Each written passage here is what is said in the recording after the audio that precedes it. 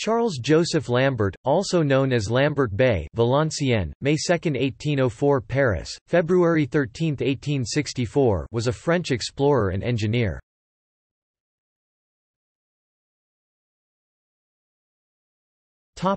Biography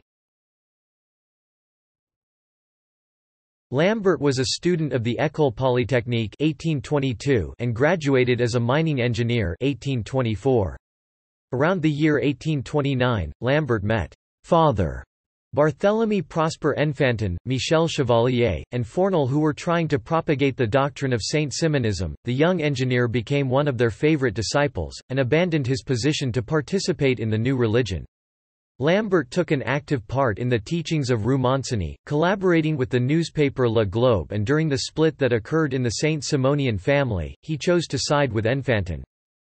In 1832, Lambert was not included in the lawsuits against the Saint-Simonians. From his refuge at Menilmontant, he appeared as trial counsel for one of the accused and produced an incisive and mocking speech which elicited a number of observations from the presiding judge. Sometime afterward 1833, Lambert left for Egypt, and at first taught mathematics in Cairo but soon caught the attention of the Egyptian viceroy, Muhammad Ali, who gave Lambert several missions. Lambert created the L'École des Mines mining school which he directed from 1836 to 1840, and then the Boulak École Polytechnique that he directed from 1840 to 1849. Lambert made it the flagship of the educational system organized by Muhammad Ali. Through the network of professors he built up from Egyptians sent to Paris, he was able to train excellent engineers who were considered civilized in the term of the day, that is to say, believing in the efficiency of technical progress as a factor of economic development and social progress. A member of the Higher Council for Education, Lambert participated in the development of all reforms of the school system in close liaison with Minister Etham Bey. Lambert also provided technical expertise for many projects. The record he created in 1849 of the work he conducted and to which he lent assistance during the reign of Muhammad Ali is eloquent, the Nile barrage, railroads, irrigation, mines, topography and maps, public works, school programs and inspections, an observatory, gunpowder and saltpeter, paper factories, roads, bridges, causeways, and waster distribution in Cairo.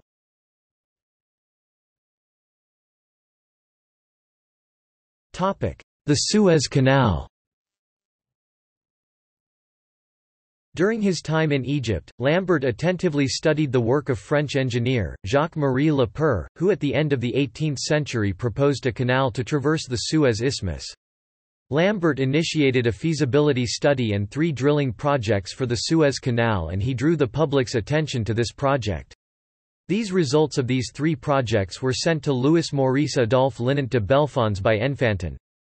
Linant worked together with Eugene Mougel on the project that was later realized by Ferdinand de Lesseps. Lambert's services in Egypt were rewarded with the title of Bey in 1847.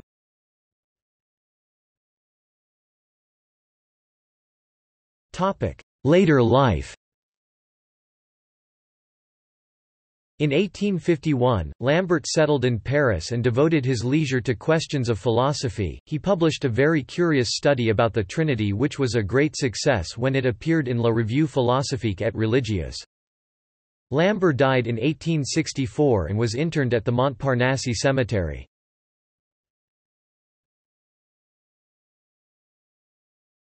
Topic: Awards Knight of the Legion of Honor, June 9, 1843.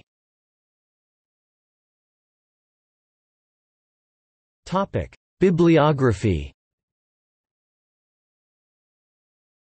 Alfred Mézières, Lettres, Sciences, Arts, Encyclopédie universelle du XXE, 1908, p. 56 Numa Broc, Dictionnaire des explorateurs français du XIXe siècle, t.1, Afrique, CTHS, 1988, pp. 185–186 François Angelier, Dictionnaire des voyageurs et explorateurs occidentaux, Pygmalion, 2011, p. 414.